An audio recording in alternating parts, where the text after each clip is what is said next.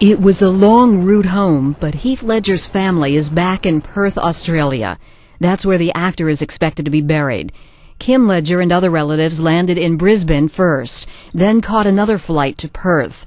It's not clear if Heath Ledger's body was on either flight. The body left a New York funeral home after a private viewing there. An Australian newspaper says Ledger will be laid to rest in a family plot in Perth next to his grandparents. Ledger died in his apartment in New York City late last month.